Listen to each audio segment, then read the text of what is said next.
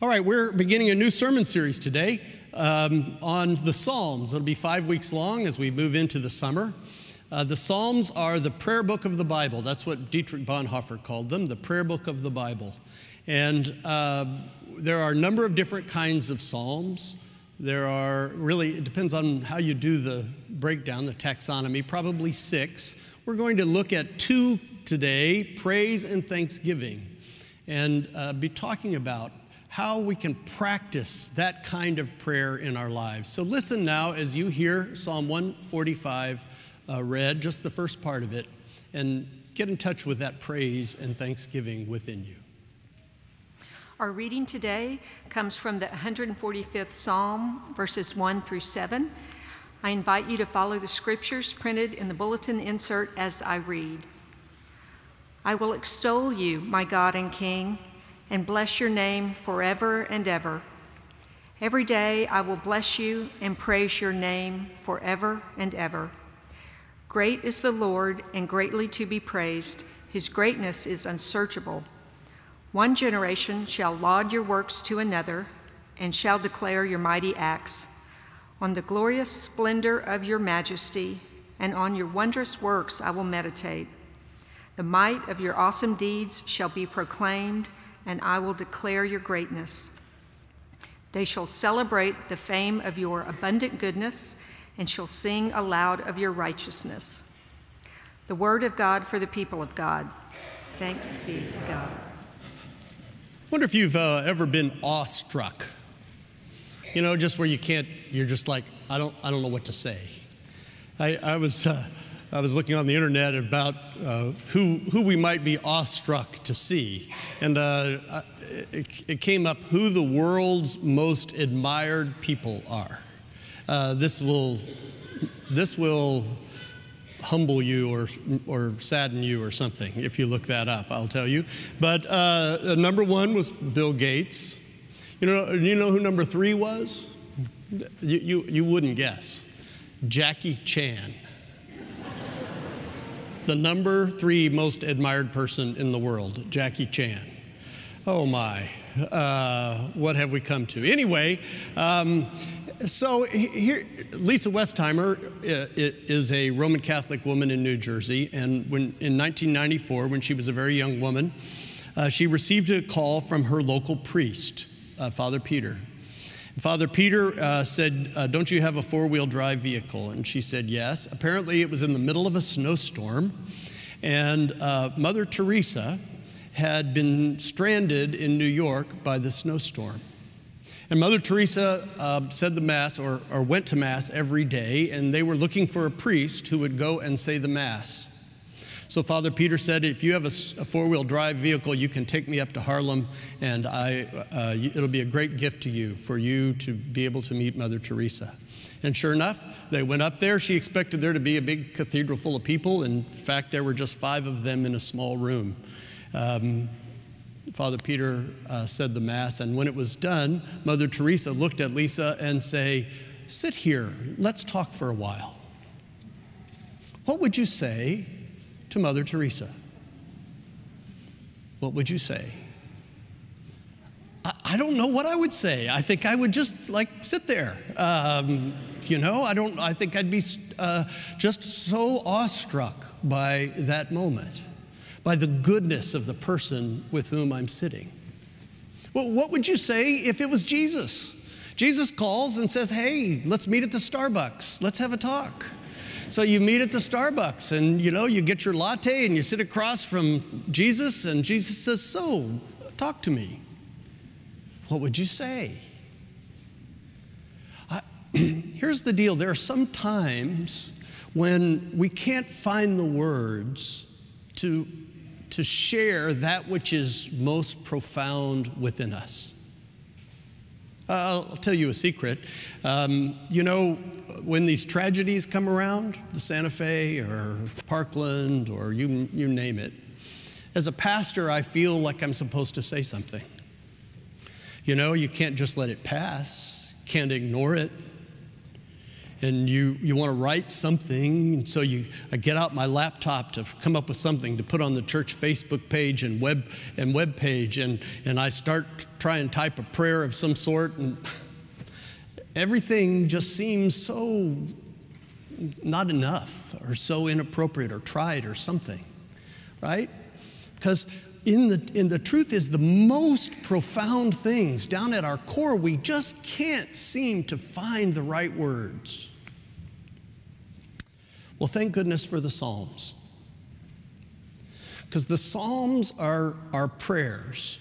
They are the prayers that we can pray to God to, to give voice to the most profound things that are at the core. When we are, when we are come into the very presence of God and find ourselves awestruck and we can't seem to find the words to say, the Psalms are there for us. You know, the Psalms serve as both, uh, excuse me, the Bible serves as both prophet and priest. Here's what I mean by that the prophet is one who speaks to the people for God. Right? So the prophet would come and say the word of the God to the people in whatever uh, place and offer this word from God. Well, the Bible is a word to us from God, a, a revelation to us from God. But the Bible is also our priest. A priest was one who spoke to God for the people right, who interceded the other way. And the Bible is also our priest. It gives us words, it, it, it expresses that which is within us to God. Now, one other piece to this that you need to understand is that when we pray, when we pray, we're not just giving expression to that which is within us, which is what we are to do, in fact. But, but, but also, our prayers are, de- are designed to lead us. They are a leading edge in our life. So, it, as we pray, our lives will follow. As we pray in a disciplined, diligent, perseverant way, our hearts and our lives will follow those prayers the Bible speaks of really two, two, of, two things that are leading edges for us. One is our prayers, and the other is our money. There you go. Right? The scripture doesn't say, where your heart is, there your treasure will be. It says, where your treasure is, there your heart will be. Right? So as we give, our lives, our hearts follow. As we pray, our lives, our hearts follow. Now, the, the Psalms are not just the prayer book of the Bible, they're also the song book of the Bible, right? Uh, the, the, the Psalms together are called the Psalter, spelled with a P like Psalm, the Psalter, and it is, in fact, the hymnal, the, the, the uh, song book of the Bible. There are more um, manuscripts, 10 times as many manuscripts of the Psalms as there are of the rest of the Bible put together. Uh, the Psalms were just such an important part of giving expression. As the people of Israel would gather to worship and sing, the Psalms were their hymnal. And music always functions that way, right? To give expression to that which we're feeling. You've just, your, your, your boyfriend just cheated on you. And so you turn on a country western song, of course to give expression to that which is when you listen to Miranda Lambert's song Kerosene and you say, How did she know that I wanted to burn down his house? Because that's what the song is all about. I'm going to burn down his house, right? It, it finds that and you go, Yes, that's exactly right. So, so our worship music not only gives expression to what's within us, but it leads us to. It sets our theology. I'm going to ask you this question. Let's pretend I came to you and I said, All right, right now I need you to recite to me 10 verses of Scripture from memory. 10 verses. Let me go. Let me have them. Well, you'd begin, Jesus wept. Okay, I got one. and then you'd start, you might get through the part of the 23rd Psalm. But if I came to you and said, Give me 10 verses, 10 lines from a hymn or worship song. You'd have no problem at all. You could come up with those. because they form so much of what we do together. They lead our lives. So, um, I hope during this whole season, this series where we look at all the different types of Psalms, that you'll begin to practice those things and, and let the Psalms give expression to your, to your prayers and your songs, and, and also let them lead. Now, I, uh, today we're going to be talking about Psalms of praise and thanksgiving, and I thought it was really important that during this series we not just talk about them, we actually do that. We actually say and sing the Psalms together. So I've, I've asked Sid Davis and his great team here to lead us in a time of singing praise and thanksgiving and to teach us a little bit about the Psalms as they do that. And so I want to challenge you. Some of you are like, oh man, I don't sing. Um, you know, give it a whirl. You'll be surprised, and I think you'll enjoy it. So uh, let's listen and participate as Sid teaches us. Thank you, Tom. I have some really good news. This is going to be super easy. I know you are probably thinking he's going to make me sing things I don't know, but you'll be surprised at how much you do know actually is tied to the Psalms. And I'm not going to mention the, the specific Psalm scriptures themselves, I'll leave that to you to look up, hopefully not during the rest of the sermon, but you can look those things up yourself. I think there are three basic categories hymns based on Psalms that are familiar, but we probably don't use them very often, if at all some unfamiliar ones that are very easy to learn, and then some very familiar hymns that we do use often, but we just haven't made the connection between the fact that that hymn paraphrase or poem was written and it was actually based on a psalm. Let's start with hymn number 75. You'll find the words to these three verses from these three hymns printed in your bulletin insert, but if you'd rather follow along in the, in the hymnal, it's hymn number 75. The words are based on Psalm 100 and fitting for today since we're all about praising God today. Let's sing this together.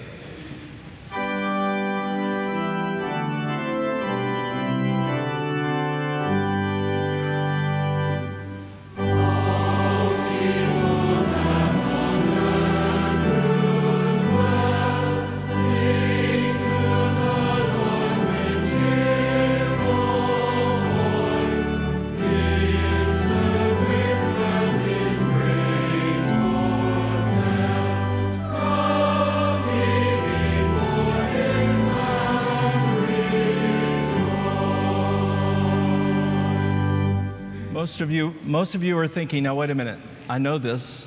That's the doxology. And yes, that is the melody for the doxology. You would be right, sort of. This tune is actually called Old 100th because it's been associated with the 100th psalm for so long. And it is the tune that we use for the doxology, which we will do later on in this service. But it's important to know that this, this isn't the doxology. It's a doxology. A doxology is a hymn of praise to the Trinity, Father, Son, and Holy Spirit. And this is the one we've chosen. There are actually many doxologies in our hymnal. We'll sing that again in a few minutes. Now to our second psalm, our hymn based on a psalm. You may look at your hymnal, it's number four, 142. Uh, but while you're turning to that Psalm 55 paraphrase, let me say a couple of things. Um, it is often something that we think that a, a, a, song in a minor key is sad, and that's not necessarily the case. Uh, also, you may think that you need to read music to learn this music, and you do not. This is really simple, and I could sing it to you, and you could sing it right back to me. In a minute, I'm going to ask Rob and Virginia to play the first or a verse together, just so you can listen. And I want you to take note of how sad this music is not even though it is, even though it is in a minor key. But it's also important to note that the author of the text also wrote the music, which is not always the case. And this psalm paraphrase was written after he went through a very difficult time. He lived in 17th century Germany and was traveling from one village to another and was robbed of all of his belongings and all of his money. And for a long time, he went from friend to friend and stranger to stranger before he got back on his feet. And it was out of that that he wrote this poem based on Psalm 55. So listen to this music.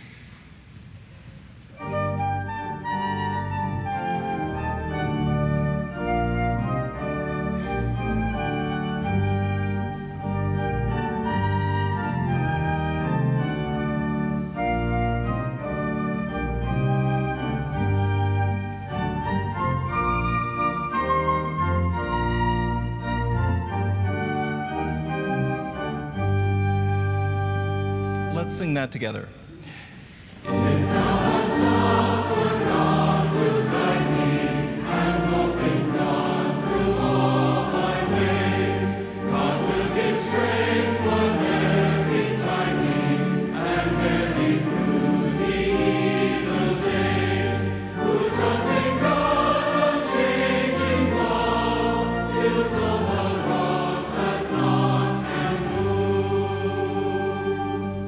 Feels like a dance because it was a dance. Last of all, a psalm that's so familiar, or a hymn that's so familiar based on a psalm that when I was little, I thought that this, this hymn should always be sung on Sunday mornings, O Worship the King. But we rarely stop to think about the fact that this particular poem was based on Psalm 104. Let's sing the first verse of a Worship the King together.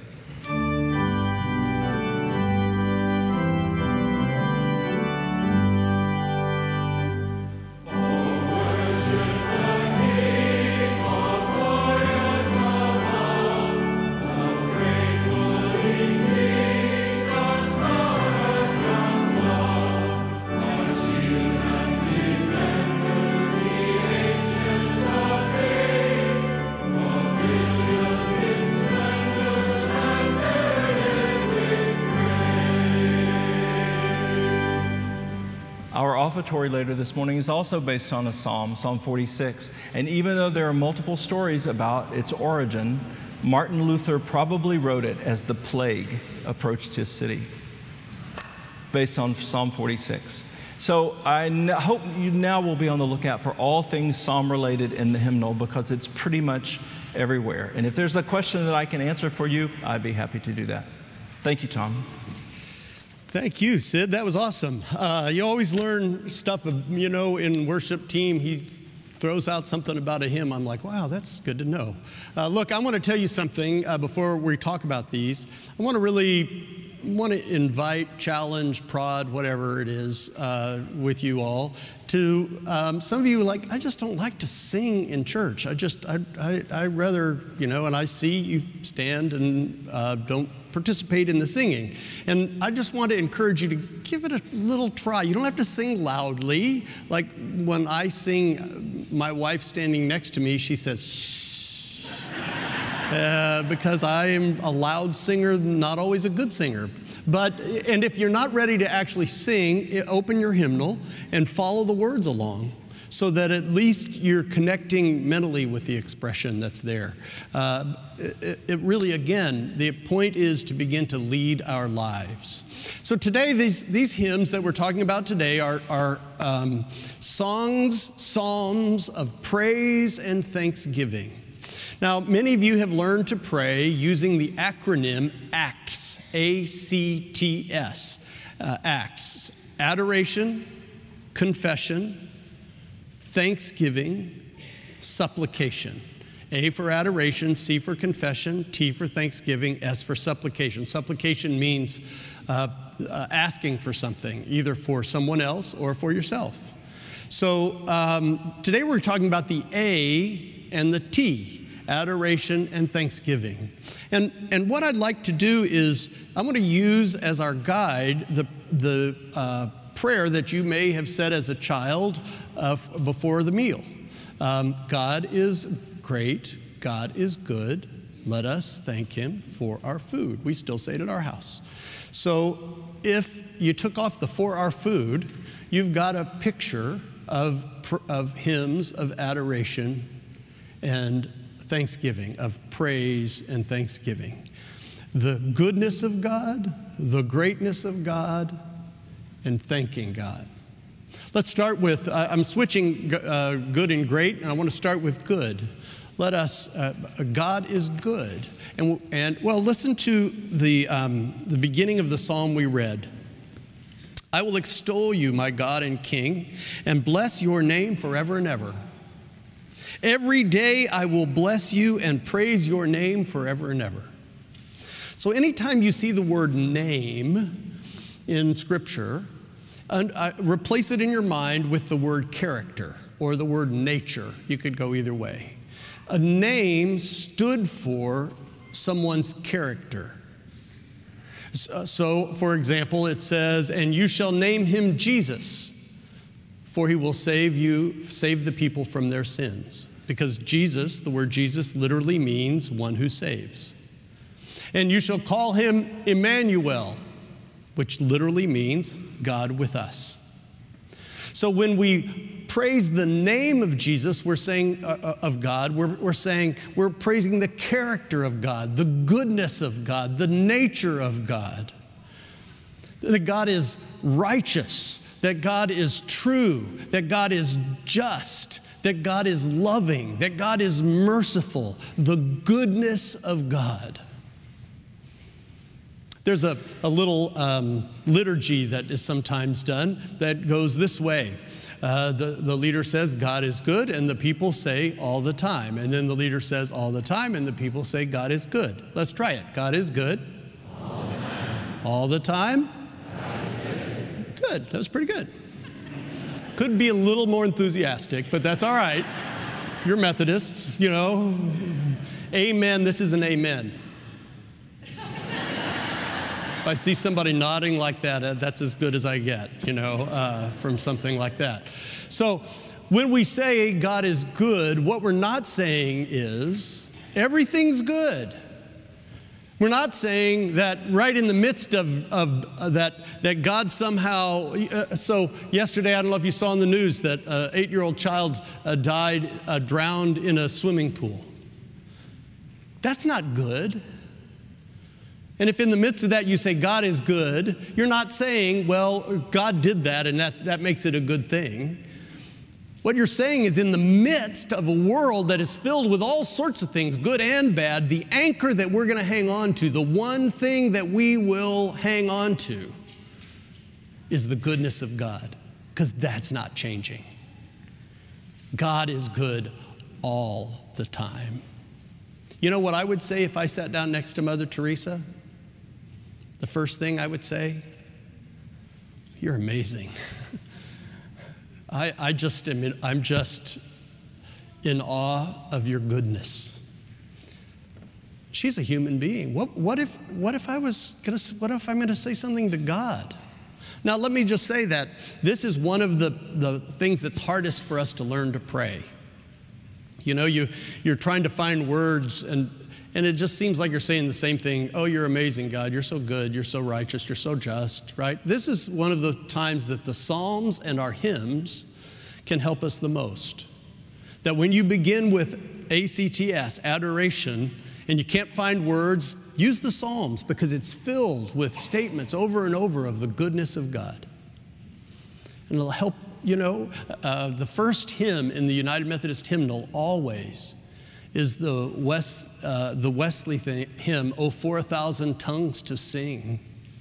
Uh, oh, 4,000 tongues to sing my great Redeemer's praise, the glories of my God and King, the triumphs of his grace. My gracious Master and my God, assist me to proclaim, to spread through all the earth abroad the honors of thy name, thy character, your goodness to tell the world how good and righteous and just and loving and merciful you are. Okay, so God is good, but the second half is God is great.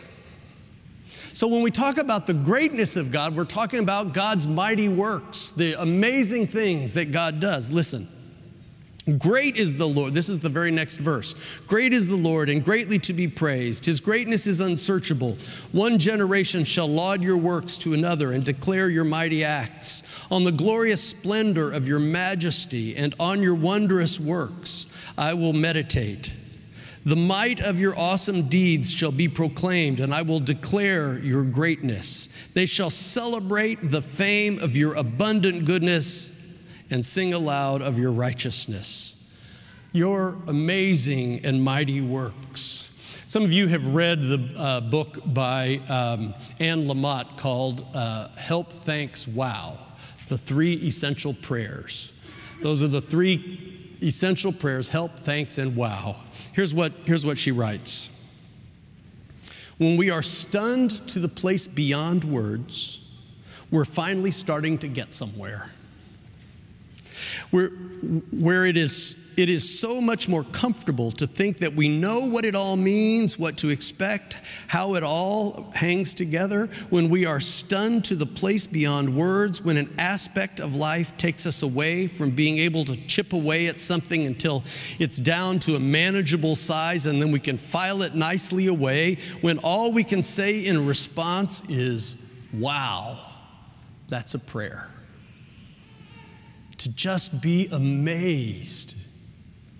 Uh, one of our members emailed me this week and said that when you walk into uh, that interior de- designers decorators will tell you that when you walk into the front uh, door of a house the wall that you see first they like to call the wow wall.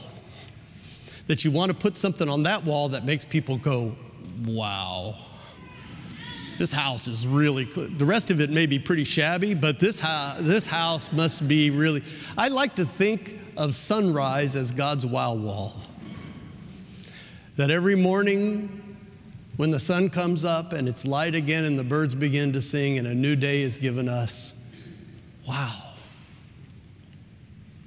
We're headed uh, to Colorado for vacation this summer. Uh, all we call it pacecation. We do once one week a year, and it's uh, all four sons-in-law and all five daughters and all nine grandchildren and my wife and maybe me. And uh, we have a great. We're going to Colorado. We go different places, and I'm counting on a lot of wow time. To just look around and go, wow, oh my God, this is incredible. Do you ever have that experience? Here's what the physicists tell us. This, this, is, this is amazing to me. That,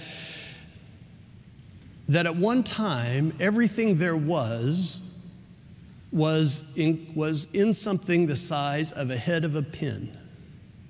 They call it the initial singularity. Uh, I prefer to call it God. That's fine.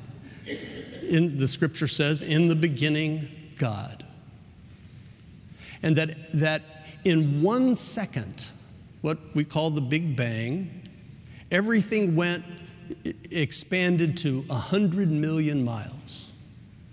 Here's what the um, expert on all things, Wikipedia, says about it.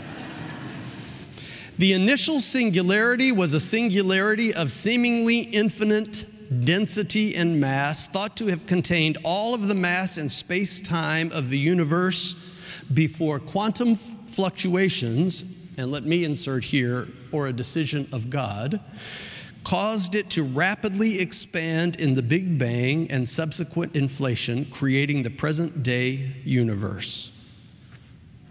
I just, I can't comprehend that. Wow. That's incredible the amazing works of God. So, how, how do we respond to those kinds of works? How do we respond to the goodness of God and the greatness of God? God is great, God is good, so let us thank Him. We respond with thanksgiving, with gratitude. I suspect you are familiar with the 100th Psalm. Enter his gates with thanksgiving and his courts with praise. Give thanks to him and praise his name. For the Lord is good, his love endures forever, and his faithfulness continues through all generations. I didn't even notice it until the 945 service. We just sang, Oh, gratefully sing of God's power. Great is God and God's love good is God. Diana Butler Bass has written a new book called Grateful, just came out in 2018. Grateful, the transforming power of giving thanks. And what the, the point she makes is that gratitude is not an emotion. Well, it is an emotion, but it's not just an emotion. That real gratitude is an ethic. It's a way of life. It includes our actions, it includes our words, it includes our emotions. It's a way of living. It is both a feeling and a choice, a way to respond to the world around us, to be grateful people in all circumstances. It happened to me again this week. I was driving from the woodlands where we'd been in annual conference, and, and it was dusk. And the, the buildings, the skyline of Houston, was just gorgeous. You could see the glistening off of the buildings, and um, it was just so beautiful. And I'd, I'd been reflecting on the day's activities and the conversations at annual conference, which were sometimes tense and uh, just so much going on, and, and thinking about my own life and good things and some difficult things and everything. And I was just overwhelmed with thinking, God is so good. And I am so grateful. Do you ever have those moments? Those moments where it's just like, it just becomes clear all of a sudden. And the, the, the basic gut response about life, even in difficult times, is I am so grateful, God. See, I want to live in wow and thanks all the time. I want to be anchored to that so that when the difficult times happen all around me, I can stay focused on the, the thing that doesn't change, the goodness and greatness of God. I want to live in wow and thanks all the time because God is good all the time. And so the discipline of praying the Psalms, of praying about the goodness, the holiness, the righteousness, the justice, the love, the mercy of God. To continue to pray that, I hope will guide my life, will lead me to that place where I live in wow and thanks. Because God is great, God is good. Let us thank Him. Gracious God, we do pray